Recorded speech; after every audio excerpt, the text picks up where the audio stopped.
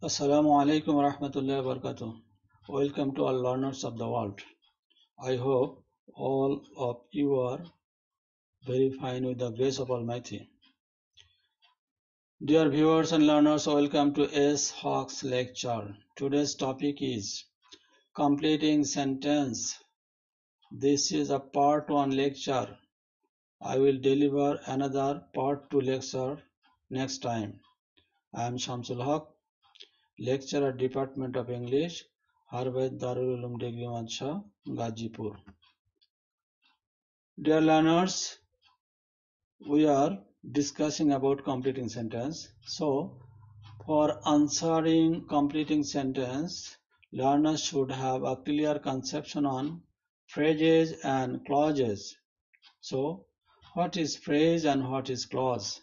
We should have a clear conception about it. Phrase. Phrase means a single group of words that functions as a single unit in the sentence. Phrase একটি শব্দগুচ্ছ যা কোনো বাক্যে একটা একক অর্থ নিয়ে আসে।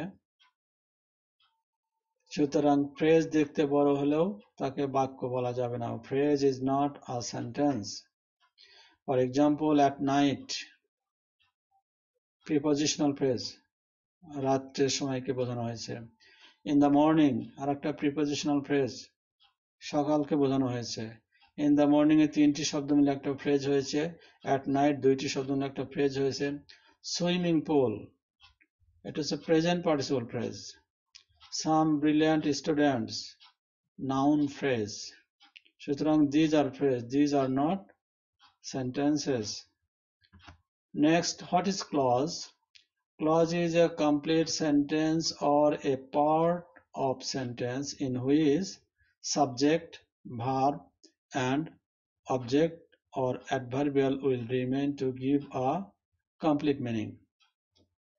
Clause ওই বাক্যকেই বলা হয় যে বাক্যে পরিপূর্ণ অর্থ দেবে এবং বাক্যের ভিতরে সাবজেক্ট থাকতে হবে ভার্বকে থাকতে হবে অবজেক্ট অথবা অ্যাডভার্বিয়াল আমরা জানি অবজেক্ট বসে ট্রানজেটিভ ভার্বের পরে।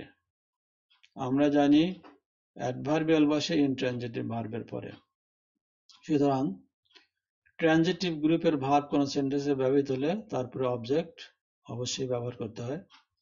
আর ইনট্রানজেটিভ হলে adverbial of time place direction duration বিভিন্ন কিছু বসবে। For example we walk in the morning এটি একটি সিম্পল সেন্টেন্স এই বাক্যে we subject walk intransitive verb in the morning adverbial of time সুতরাং পুরো বাক্যটি একটি simple sentence she works hard main clause so that একটি কনজাংশন একে বলা হয় subordinating conjunction she can be R is এটা হচ্ছে সাবঅর্ডিনেট ক্লজ সুতরাং এই বাক্যটিকে সিম্পল বলার সুযোগ নেই কম্পাউন্ডও বলার সুযোগ নেই। সো দ্যাট একটি কমপ্লেক্সের conjunction next number three I know her and she also knows me এই বাক্যে দুইটি অংশ আছে। মেইন ক্লজ মেইন ক্লজ চেনার উপায় যার সামনে কোনো কনজাংশন থাকবে না। সাবঅর্ডিনেট ক্লজ এবং কোঅর্ডিনেট ক্লজের সামনে কনজাংশন থাকবে। অ্যান্ড একটি কোঅর্ডিনেটিং কনজাংশন যা কম্পাউন্ড সেন্টেন্স গঠন করে। সুতরাং এই বাক্যকে কম্পাউন্ডই বলতে হবে। কমপ্লেক্স বা সিম্পল বলার সুযোগ নেই। Dear learners we should know the kinds of clauses ক্লজের প্রকারভেদ জানা দরকার। তাছাড়া বাক্য কমপ্লিট করা সম্ভব নয়। নাম্বার ওয়ান মেইন ক্লজ আর প্রিন্সিপাল ক্লজ আমরা জানি প্রধান ক্লজ বা বাক্য অংশ, তা অপর নাম principal clause number two subordinate clause আর ডিপেন্ডেন্ট ক্লজ যা কমপ্লেক্সে ব্যবহৃত হয়। নাম্বার থ্রি কোঅর্ডিনেট ক্লজ যা কম্পাউন্ডে ব্যবহৃত হয়। সুতরাং ক্লজ তিন ভাবে পাওয়া যাবে মেইন ক্লজ সাবঅর্ডিনেট ক্লজ এবং coordinate clause some kinds, sorry, kinds of clause. Complex sentence এ ব্যবহৃত কনজাংশন আবার তিন প্রকার। For example number one subordinate noun clause noun clause উহাকেই বলে যে বাক্যটি, পুরা বাক্যটি কোনো বাক্যের সাবজেক্ট অথবা অবজেক্ট অথবা অ্যাপোজিটিভের কাজ করিবে। নাউন যেরকম বাক্যের সাবজেক্ট অবজেক্ট হয়, অনুরূপভাবে নাউন ক্লজও আরেকটি বাক্যের সাবজেক্ট অথবা অবজেক্টের ভূমিকায় থাকবে। Number two subordinate adjective clause অথবা রিলেটিভ ক্লজ অ্যাডজেক্টিভ ক্লজের অপর নাম রিলেটিভ ক্লজ যাহা অ্যাডজেক্টিভ ক্লজ তাহাই রিলেটিভ ক্লজ যা কমপ্লেক্স সেন্টেন্সে ব্যবহৃত হয়। Adjective clause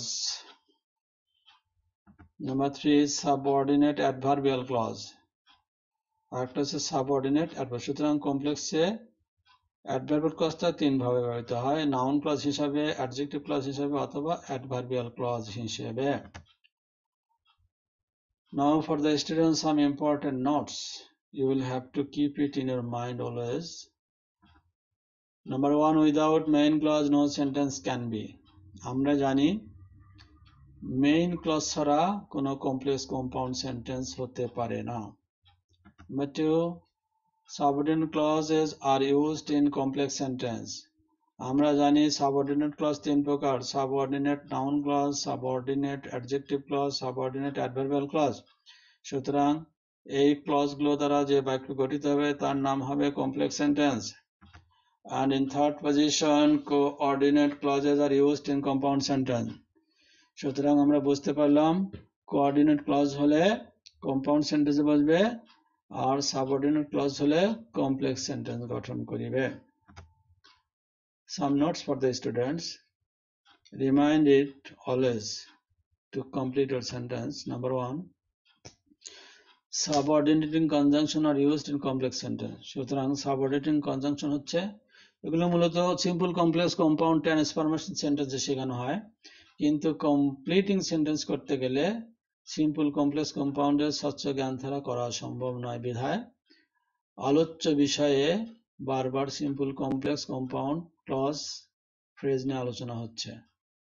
আমরা জানি সাবঅর্ডিনেটিং কনজাংশন হচ্ছে when, while, after, before, till, until, that, so that, if, as if, though, although, who, whom, whose which what that ইত্যাদি next coordinating conjunction are used in compound sentence আমরা জানি coordinating conjunction হচ্ছে and but or nor either or neither nor not only but also so therefore ইত্যাদি so dear students some examples of completing sentences.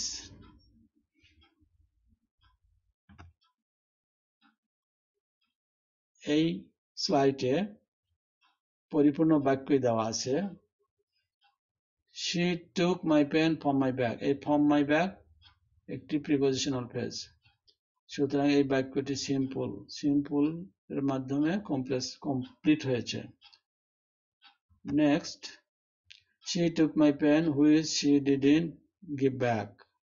সে আমার কলম নিয়েছিল, কিন্তু ফেরত দেয়নি। এই হুইস আসার কারণে বাক্যটি অবশ্যই কমপ্লেক্স হয়েছে এবং এই সাবঅর্ডিনেটিং ক্লজের নাম হয়েছে সাবঅর্ডিনেট অ্যাডজেক্টিভ ক্লজ আমরা জানি relative pronoun who whom whose what that যদি মেইন ক্লজের সাবজেক্ট বা অবজেক্টকে ইন্ডিকেট করে, তখন সেটা অ্যাডজেক্টিভ ক্লজ হয়। Number three she took my pen and gave it back after a while সে আমার কলম নিয়েছিল এবং একটু পরে ফেরতও দিয়েছিল। এই অ্যান্ড প্রমাণ করছে বাক্যটি সিম্পল নয়। যেহেতু দুই বাক্যের মাঝে অ্যান্ড কনজাংশন এসেছে।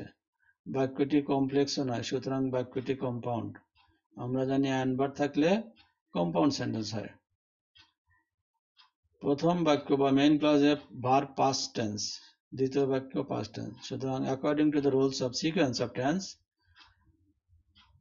বাক্যের পূর্ব পর গঠন প্রকৃতির জন্য কখন কোন টেন্স ব্যবহৃত হয়, এজন্য সিকোয়েন্স অফ টেন্স সম্পর্কে তোমাদের জানতে হবে। নাও কমপ্লিট দ্য সেন্টেন্সেস আমি একটু হেল্প করি তোমাদের। Kamal is a gentleman who who আসার কারণে বাক্যটিকে সিম্পল করার সুযোগ নেই। আসার কারণে বাক্যটিকে কম্পাউন্ড করারও সুযোগ নেই। সুতরাং বাক্যটি হবে কমপ্লেক্স এবং ক্লজটির নাম হবে অ্যাডজেক্টিভ ক্লজ কারণ আমরা জানি হুটা রিলেটিভিটি ঘটাইছে ম্যানের সঙ্গে। ম্যানের ব্যক্তিবাচক relative pronoun who number two in H S C you have made a good result so so একটি কনজাংশন আমরা জানি সো সাধারণত কম্পাউন্ড সেন্টেন্সের কোঅর্ডিনেটিং কনজাংশন সুতরাং এই বাক্যটিকে সিম্পল করার সুযোগ নেই কমপ্লেক্সও করার সুযোগ নেই। আমাদেরকে কম্পাউন্ডেই করতে হবে। সুতরাং আমরা এখানে লিখতে পারি, in SSC you have made a good result, so you should get a preparation for university admission. আমরা বাক্যটি কম্পাউন্ড করলাম। অথবা তোমরা ইচ্ছা মতো তোমাদের মতো করতে পারো, বাক্যের মিনিং ঠিক থাকলেই যথেষ্ট। প্রথম বাক্যে যেমন, Kamal is a gentleman Kamal একজন ভদ্রলোক who always helps the poor লিখলে বাক্যটি কমপ্লিট হয়, অথবা অন্য কিছু দাও কমপ্লিট করা যেতে পারে।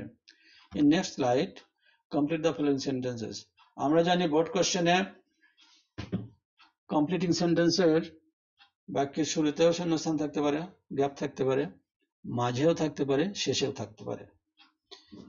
কমপ্লিটিং সেন্টেন্সের বাক্যগুলো মানে এক সেন্টেন্সে হতে পারে অথবা পুরা প্যাসেজ আকারে বা স্টোরির মতো করে আগের বাক্যে পরের বাক্যের সঙ্গে অর্থের মিল রেখে অ্যাপ্রোপ্রিয়েট ওয়ার্ড দিয়ে বাক্যকে কমপ্লিট করতে হয়। আমরা এখানে স্টোরি আকারে কমপ্লিটিং সেন্টেন্সের পার্ট টুতে আলোচনা হবে। এখানে শুধু কাটা কাটা বাক্য বা এক এক বাক্যের দ্বারা আমরা শিখব। বাক্যের শুরুতে শূন্যস্থান বা gap that he was reading a diary সে একটা ডায়েরি পড়ছিল। এই দ্যাট একটি কনজাংশন যাহা অবশ্যই কমপ্লেক্সের দিকে ইন্ডিকেট করে। সুতরাং সিম্পল বা কম্পাউন্ড করার সুযোগ নেই। দ্যাট দ্বারা জানি নাউন ক্লজ শুরু হয়। সুতরাং আমরা যদি বাক্যের শুরুতে একটা সাবজেক্ট এবং একটা ট্রানজিটিভ ভার্ব ব্যবহার করি, সুতরাং যদি বলি I saw that she was reading his diary আমি দেখেছিলাম যে সে তার ডায়েরি অধ্যয়ন করিতেছিল। হইল সুতরাং আমরা মেইন ক্লজটাকে ইউজ করলাম। আমাদের সাবঅর্ডিনেট নাউন ক্লজ দেওয়া আছে। Number two he ran away he ran away এই বাক্যটিতে কোনো কনজাংশন নেই। সুতরাং আমরা এই বাক্যটিকে সিম্পলও করতে পারব কমপ্লেক্সও করতে পারব কম্পাউন্ডও করতে পারব। যদি বলি when he saw the police he ran away বাক্যটা কমপ্লিট হলো। অথবা যদি কেউ বলে seeing the police he ran away পুলিশকে দেখে দৌড়িয়ে গেল বা পালিয়ে গেল। সিম্পল হলো। অথবা যদি কেউ বলে, Kamal saw the police and he ran away. Compound হলো। ইফ এর ব্যবহার। ইফকে বলা হয় কন্ডিশনাল কনজাংশনের কন্ডিশনাল কনজাংশন আমরা জানি কন্ডিশনাল সেন্টেন্স সাধারণত চার ভাবে প্রকাশ হয়। First conditional second conditional third conditional zero conditional ইফের পরে present indefinite if it rain সুতরাং আমাদেরকে এই বাক্যটি কমপ্লিট করতে হবে। ফার্স্ট কন্ডিশনাল ফর্মুলায় যা হবে কমপ্লেক্স সেন্টেন্স আমরা জানি ইফ ইট রেইনস প্রেজেন্ট টেন্সের কারণে পরবর্তী বাক্য হবে future tense if it rains I will not go to college যদি বৃষ্টি আমি কলেজে যাব না। Number two sorry number four is clear to me is ভার্বের পরিপূর্ণ একটা অংশ। এখানে ফাঁকা। সুতরাং এটার যেহেতু কোনো কনজাংশন নেই, এটা আমরা সিম্পলও করতে পারি অথবা কমপ্লেক্স করতে হবে। যেমন it is clear to me এটা আমার কাছে পরিষ্কার। অথবা যদি নাউন ক্লজ নিয়ে এই ইজ ভার্বের সাবজেক্ট বানাই, যেমন what he said is clear to me সে যা বলেছিল তা আমার কাছে পরিষ্কার। সুতরাং it is clear to me এত সহজ সেন্টেন্স ইন্টারমিডিয়েট ক্লাসের জন্য অ্যাপ্রোপ্রিয়েট নয়। সুতরাং সবচেয়ে বেটার হয় এটাকে নাউন ক্লজের মাধ্যমে বাক্যটিকে কমপ্লিট করা। What he said is clear to me